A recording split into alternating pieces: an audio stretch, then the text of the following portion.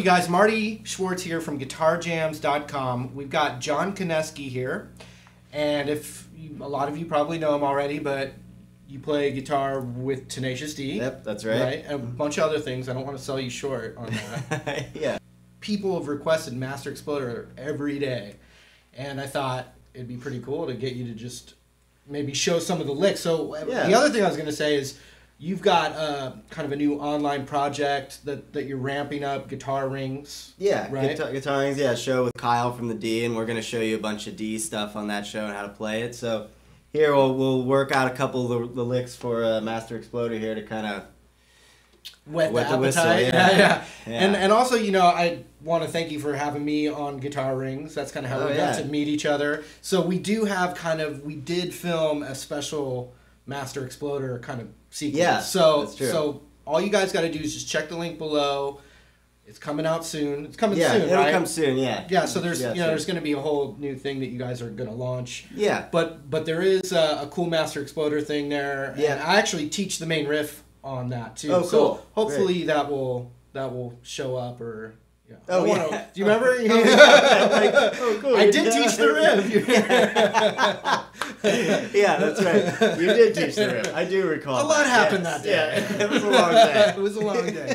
Yeah. Oh yeah. I remember you were saying before the solo from that song is like a bunch of overdubbed Well, solos. yeah, it's you, no one guitar player could ever play it at once. well, It's unless you unless you had to Pick of Destiny and the extra Yeah, arms. right. Exactly. Multiple solos. Yeah, so it's overdubbing, is something you do in the studio, obviously. Um, any uh, you, you, there's a solo, and then they put you on a different track. and You solo over your solo. Isn't that cheating, man? Yeah. and that's why, Yeah, yeah, that's that's, why why it's we do it. yeah, it opens with a it's a it's a hybrid picking thing, which uh, at least I play it that way. You don't necessarily have to. That's when you pick the note with the pick. Use one of your other fingers to grab that high E. So it's this classico bend of you know the 14th fret E box pattern pentatonic. Pretty much the whole solo. All the solos are in that.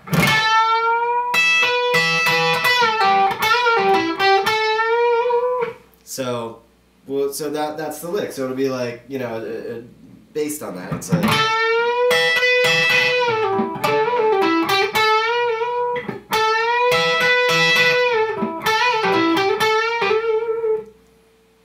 So uh, yeah, just a bend on the 14th fret. Hit your 12th fret on the E.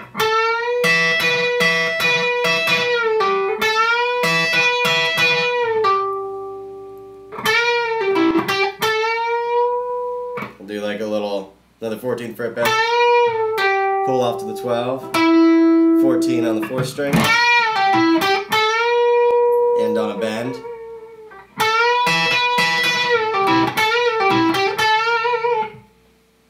That's it.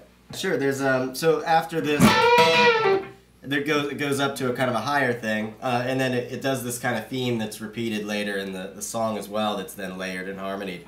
But uh, it goes up and does this thing.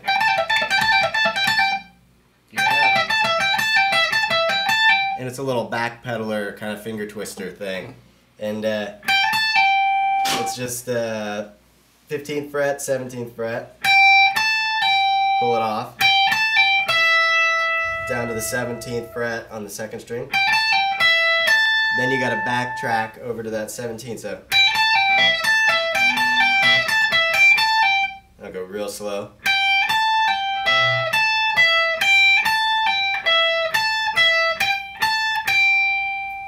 Nice. Yeah, if you did that in the major form, it's like Dickey Betts from the Allman Brothers. Like in a, as a like- major pentatonic Yeah, yeah. so like- Yeah. He does that one a lot. Uh, like, um, sweet. And then what? Do you go even higher? Is Uh, it even possible? I, I don't recall if it does. um, so yeah, so this is how it would be, uh, you know, used in, in that song context.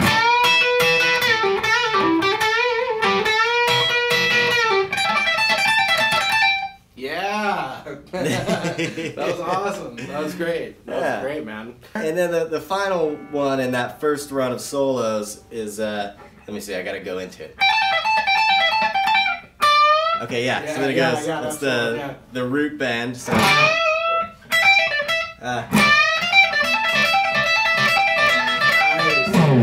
then just drop dives down to E there. Dude, so this is just uh, it's it's you know fairly simple. It's just a 15th fret bend here up to the E, and then.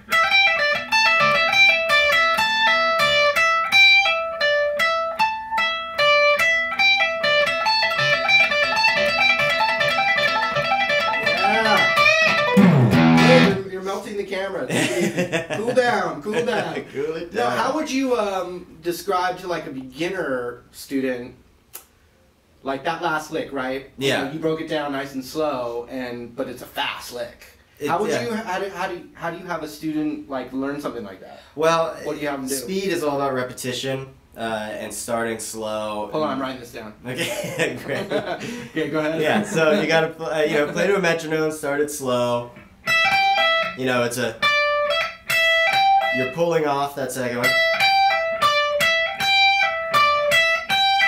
All the other notes are picked. Downstroke, upstroke. So down, up, pull off, down on that last note, which is 15th fret there. Oh, I'm sorry, no, that's an upstroke on the last note. So just start slow and just don't worry about going fast at first.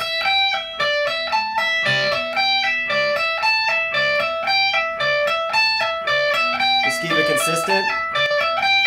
Slowly build it up.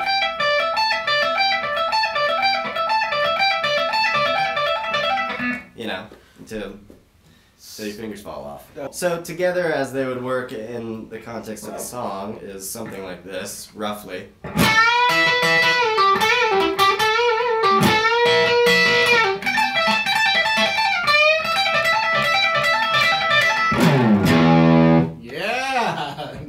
The first part. dude, So, that was great, man. Thank you. Anyway, I want to thank John Konesky for teaching some of those tasty licks. Yeah. Thank you very much. And also, you're going to see some cool footage from Guitarings in the future. You can just check the link below. And I, in fact, uh, I did some of the stuff too, so you can check that out in the future. And uh, thanks a lot, dude. oh, thank you. All right. Good times.